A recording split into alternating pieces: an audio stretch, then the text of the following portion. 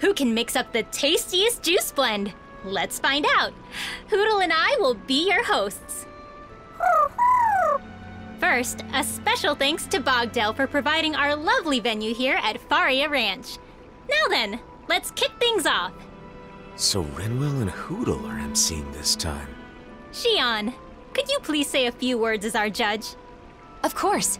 I can tell everyone has put their best effort into today's competition, and I'm eager to sample the fruits of that labor. Sounds like Shionne's taste buds are ready. So, without further ado, let's bring out our first contestant. It's That's right.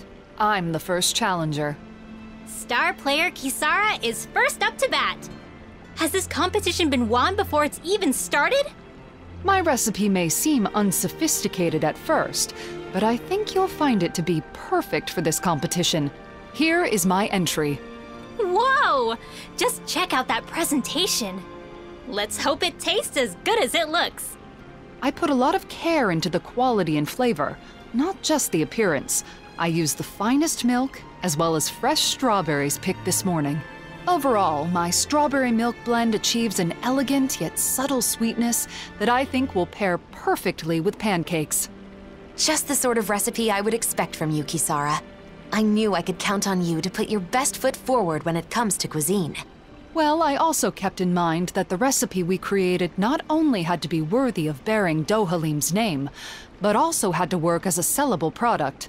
With that in mind, I tried to replicate his elegance and refinement in both the presentation and flavor of my entry. Even her description is flawless. She's thought of everything. That's an approach to the assignment only you would think of, Kisara. Let's give it a taste. Hmm, it certainly is delicious. And I'm sure it will pair well with pancakes, too. Is this it? Has Kisara already claimed the title? However, it feels a little too conventional. I don't imagine it would make any notable waves if it was released as a new product. Wh- what? It's a solid entry, but I think the juice we release has to surprise the drinker. It should give them something unexpected. For example, you could try dumping more sugar in it to sweeten it up. I. It's true. I may have avoided taking risks in the pursuit of a smooth, easily accessible drink. But if the juice is too sweet, it won't go well with the pancakes, and adding that much sugar would definitely make the juice unhealthy. I think you did a great job, Kisara. Alphen, I don't need your consolation. I created this recipe, and I will destroy it with my own hands. Wow, she is not taking this well. Has fan favorite Kisara been knocked out of the competition? What will happen next? You want a juice that will surprise the drinker, you say? If so, then it would appear victory is mine. A bold statement. It sounds like you're confident in your entry, Dohalim. Extremely. All my work has been for this. Behold, my masterpiece! Uh, it's awfully viscous. You mustn't judge on looks alone. I ask that you refrain from commenting until you've tasted it. Fair enough. Well, here goes.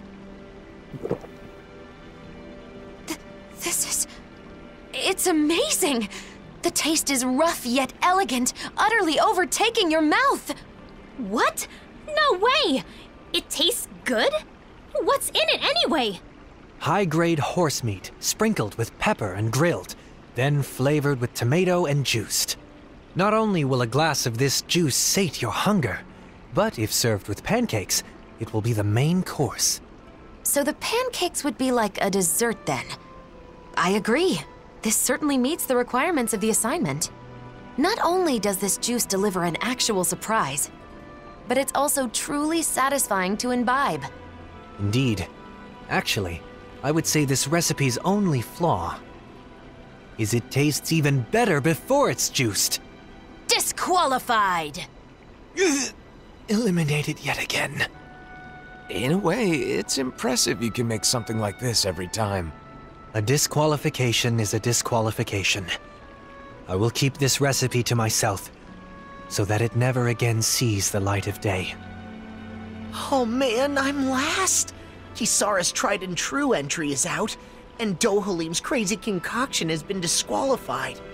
Now I'm next on the chopping block. Oh, what am I gonna do? Law! Come on, hurry up! You're the last contestant, so get out here already! Coming, Rinwell! Uh, damn it! Think, Law, think! Oh, use your head. Wait, my head? That's it! If this juice is gonna reflect the real me, I gotta go all in! Time to go big or go home! Yeah!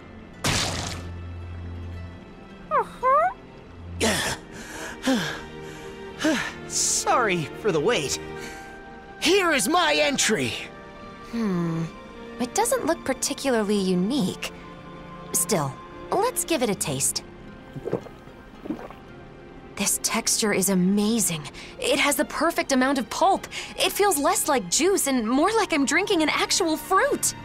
The aftertaste is cool and refreshing, yet it's substantial enough for a single glass to leave you feeling satisfied. This juice will not only fill the stomach, but also go perfectly with pancakes. It's exactly what I was hoping for. Wait, so then. Yes, Law is the winner. Ha ha! Really? You're serious? Hell yeah! But, Law, how did you make this? Did you grate an apple into a cloth and wring the juice out through it? Nah, that's way too much hassle. The only tools I needed were these finely tuned muscles. Listen up. First, I split the fruit open with a headbutt. Then, I squeezed the juice out with my bare hands. And voila! Its appearance is understated, but it was made through a crazy process. Suits Dohalim perfectly, don't you think? So, is that what you think of me? Putting aside the juicing method, I guess this means we have a recipe we can turn in. Hold on. No one could reproduce that juicing process except Law. Does that mean we have to turn him in too? Huh? Uh, come on, no need to go that far. No, she's right. Sorry, Law, but this is goodbye. Take your recipe and head back to Viscint alone. Law, thank you. For everything. I promise I'll never forget you. Take care of yourself, Law. Just know I'll be wishing the best for you in your new life. You're. You're joking, right? Hey, wait!